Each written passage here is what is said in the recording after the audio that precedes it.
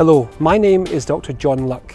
I'm one of the team of consultant anaesthetists here at the Golden Jubilee National Hospital who look after patients who are having hip and knee joint replacements. Thank you for taking the time to view this film today. We hope that you find it both interesting and informative. The aim of this film is to provide you with information relating to your journey as a patient through the hospital. We also want to provide you with some important information about the types of anaesthetic that we provide in this hospital and also about the types of pain management that you will have following your operation. After you have completed your pre-assessment, you'll receive a letter from our booking office. This letter will provide you with the date of your operation and the location where you will attend before the operation. You will either be admitted to the orthopaedic ward the day before your surgery or you will be asked to attend the surgical day unit on the morning of your planned surgery. Some patients, particularly those who live far away from the hospital, may be placed in the hotel the night before and asked to attend the surgical day unit on the morning of surgery. If you are admitted to the ward the day before your surgery, instructions regarding fasting time and medications will be provided by the nursing staff. If it is planned that you will attend the surgical day unit, including if you are staying in the hotel, please stop eating at midnight the night before your surgery. Please drink a large glass of water or black tea or black coffee at 6am on the day of your surgery. This will help to ensure that you do not become too dehydrated. Following this, please do not have anything else to drink until you receive further instructions on the surgical day unit. You will receive written instructions from your pre-assessment nurse or a member of the anaesthetic team which of your regular medications you should take on the morning of surgery prior to attending the surgical day unit. Your anaesthetist will see you either on the ward the evening before your operation, if you're being admitted the day before, or on the day of your operation in the surgical day unit. About two hours before your operation, you will receive a variety of different medications prescribed by your anaesthetist, and each medication has a specific role in preparing you for theatre. This is what is known as a pre-med and may consist of a tablet to help you relax, various types of painkiller, a tablet to reduce gastric acid, and an anaesthetic cream to numb the skin on the back of your hands to improve comfort on insertion of the intravenous cannula. About half an hour before your operation, you will be transferred to the pre-operative area. Here the nurse will use a checklist to ensure that everything is ready for you to proceed to theatre.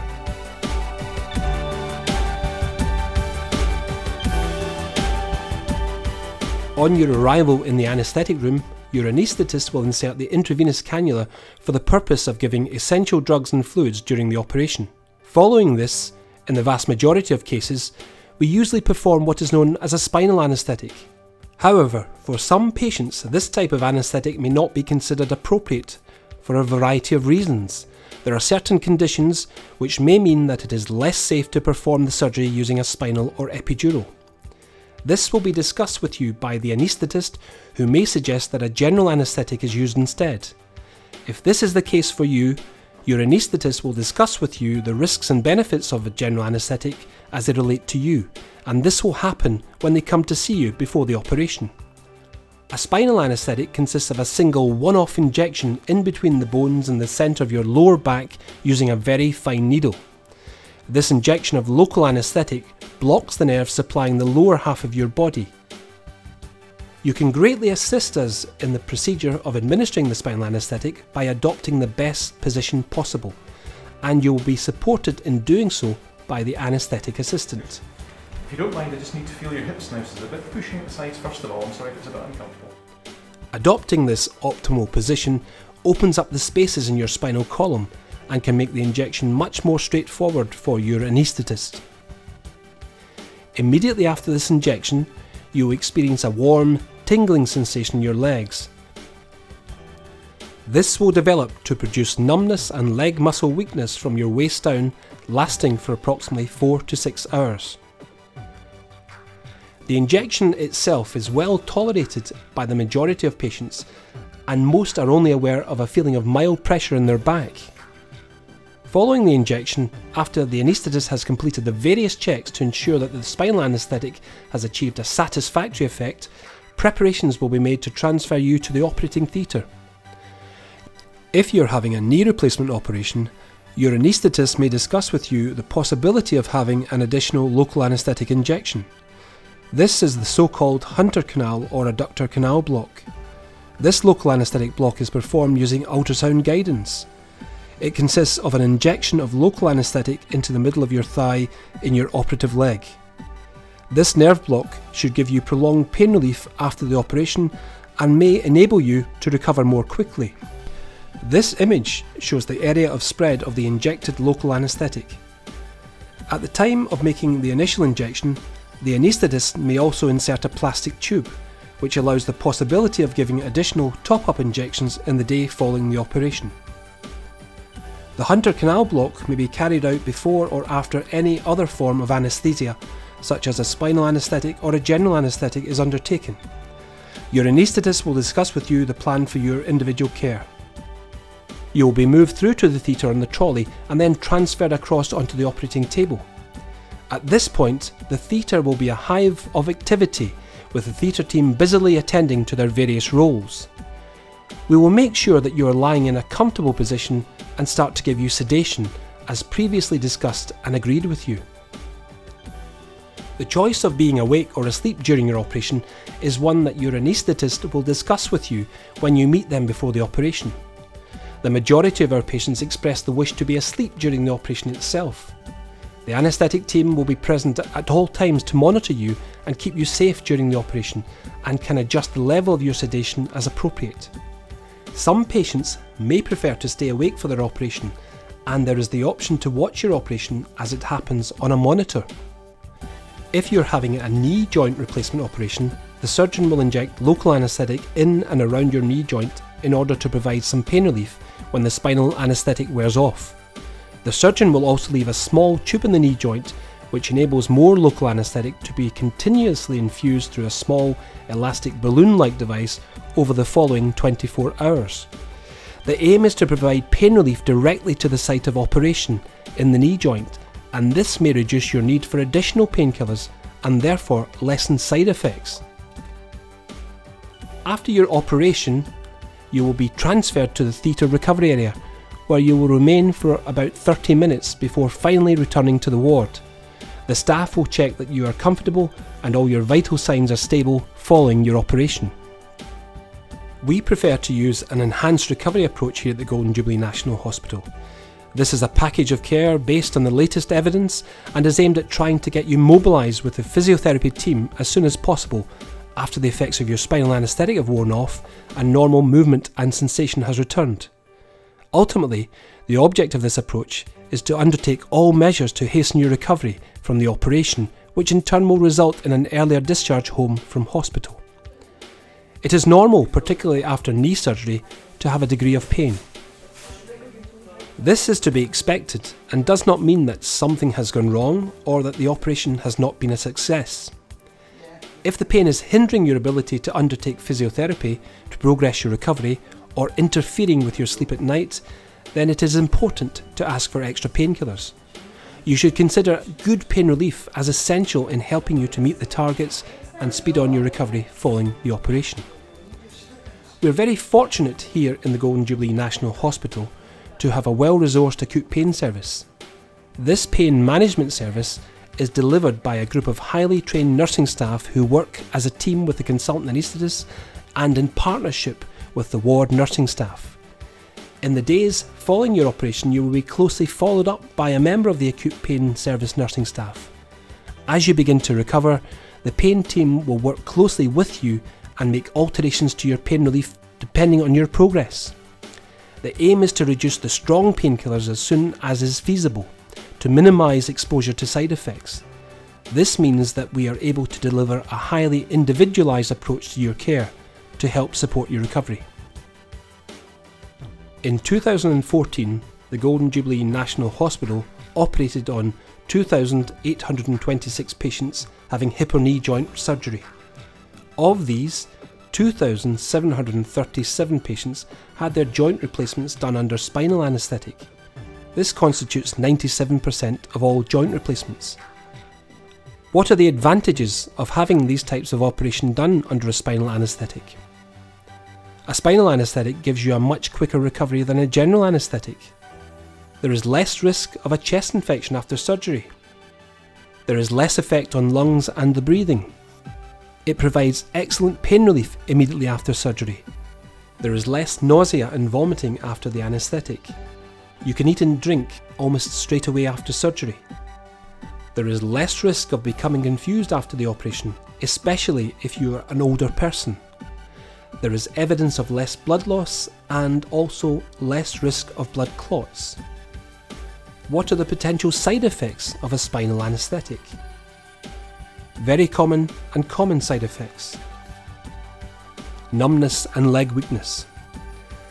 After the spinal injection, you will experience numbness from the waist down and eventually be unable to move your legs. This is the desired clinical effect. This effect normally affects both legs equally. The operation itself lasts about one hour, but these effects of the spinal injection will last for around 4 to 6 hours. Retention of urine.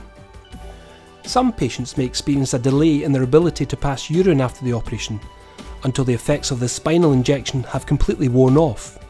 If you're unable to pass urine and this results in discomfort, we may be required to insert a urinary catheter. However, it should be stressed that this is only necessary in a very small number of patients. Temporary drop in blood pressure. This can occur soon after the spinal anaesthetic is administered. The anaesthetic team will be present looking after you at this time and can immediately take appropriate action.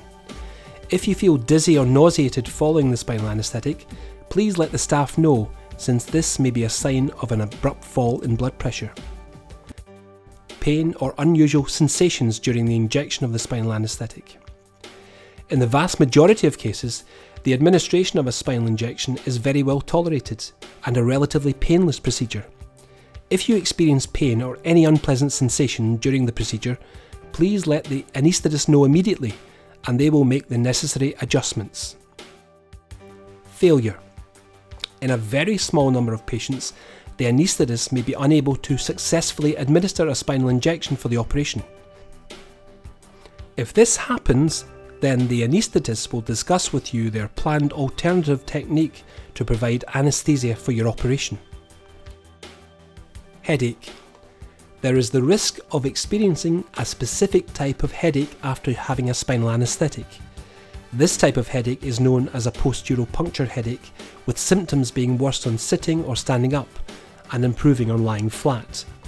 The headache may be associated with dizziness, nausea, and sensitivity to light, with intolerance to bright lights. The risk of this is usually quoted as around 1% or 1 in 100 patients. In the Golden Jubilee National Hospital in 2014, our rate of puncture headache was 0.6% or approximately 1 in 200 patients. We recognise that suffering from headaches after an operation is very common. The majority of headaches are due to a variety of factors such as dehydration, feeling anxious, or if you drink a lot of caffeinated drinks, as symptoms of caffeine withdrawal. If you do experience a headache in the day or two after your operation, please mention this to the nursing staff on the ward. Rare and very rare complications. Nerve damage. This is a rare complication of spinal anaesthesia. Temporary loss of sensation, pins and needles, and sometimes muscle weakness may last for a few days or even weeks, but almost all of these make a full recovery in time. Permanent nerve damage is very rare, approximately 1 in 50,000 spinals. It has about the same chance of occurring as major complications of having a general anaesthetic. Infection. This is a very rare complication of spinal anaesthetic. Around the time of administering the spinal anaesthetic, the anaesthetist will take all precautions to ensure that the procedure is undertaken in such a manner as to reduce the risk of infective complications to a minimum. Bleeding. Bleeding into the area surrounding the spinal cord is potentially serious, but a very rare complication of spinal or epidural injection. Patients taking blood thinning medications are at increased risk of this complication. However, on your visit to the preoperative assessment clinic, you will receive written instructions regarding when to stop these medications before operation.